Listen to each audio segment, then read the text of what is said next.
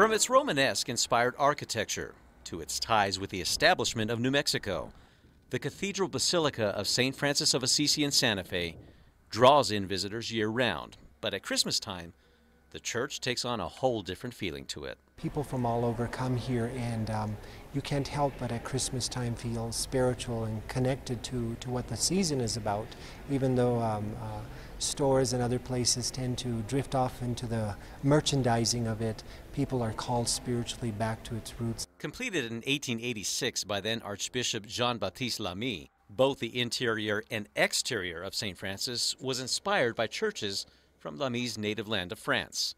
It wasn't until renovations in the 1980s that a Spanish altar screen was installed in the church, tying the church's French roots in with those of New Mexico. Another strong tie is the untouched part of the original adobe cathedral, known as La Conquistadora Chapel. This cathedral is certainly a combination of so many traditions and, and peoples and cultures, which is the church. It, it is not just one people, it is just not one, one way of seeing things, but multifaceted as God is.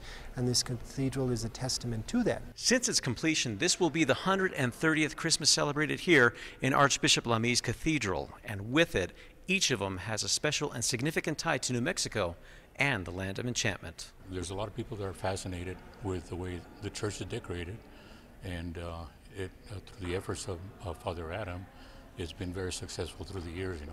We raise our voices to the Father in a hymn of praise and thanksgiving for all the gifts He has bestowed on us. Recently, the cathedral celebrated the end of the liturgical year with a ceremonial closing of the doors. These are the preparations for the Christmas season. It draws everyone back to a center, to a place of groundedness. You know, this this uh, this holy place has stood here for centuries, and uh, not only in these walls, but certainly the remains of our ancestors buried under the cathedral, ground people in something that is is. Is, uh, has a greater longevity than any of them, and that is faith, and that is tradition, and that certainly is uh, Santa Fe. The very reason why people came out here above all was to spread faith and that faith continues to, to live and breathe here in the people that come and visit.